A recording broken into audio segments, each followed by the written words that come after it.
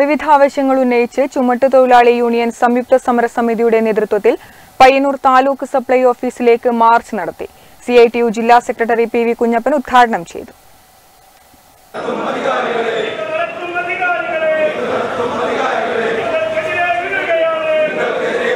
Ration കയറ്റിറക്ക സംവിധാനം പയ്യന്നൂരിൽ നിന്നും മാറ്റാനുള്ള നീക്കം ഉപേക്ഷിക്കുക തൊഴിലാളികളുടെ തൊഴിലും കൂലിയും സംരക്ഷിക്കുക തുടങ്ങിയ ആവശ്യങ്ങളുമായി ചുമട്ടുതൊഴിലാളി യൂണിയൻ സംയുക്ത സമരസമിതിയുടെ നേതൃത്വത്തിൽ പയ്യന്നൂർ താലൂക്ക് സപ്ലൈ ഓഫീസിലേക്ക് മാർച്ച് നടത്തി. പുതിയ ബസ് സ്റ്റാൻഡിൽ നിന്നും ആരംഭിച്ച മാർച്ച് സപ്ലൈ ഓഫീസിനു മുന്നിൽ സമാപിച്ചു. സിഐടിയു ജില്ലാ സെക്രട്ടറി പി വി കുഞ്ഞപ്പൻ ഉദ്ഘാടനം ചെയ്തു.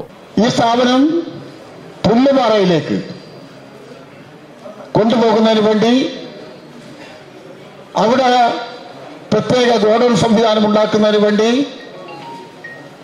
ശ്രമങ്ങൾ ആരംഭിച്ചിട്ടുണ്ട്. ആരംഭിച്ചിട്ടുണ്ട് എന്ന് മാത്രം പറഞ്ഞാൽ പോരാ. അതിന്റെ തറക്കല്ലുകൾ ബഹുമാനപ്പെട്ട മന്ത്രി നടത്തുകയും ചെയ്തിട്ടുണ്ട് എന്നതാണ്. സ്വാഭാവികമായിട്ടും തറക്കല്ലിട്ട് കഴിഞ്ഞാൽ ഗോഡൌൺ നിർമ്മാണ പ്രവർത്തനം നടക്കും.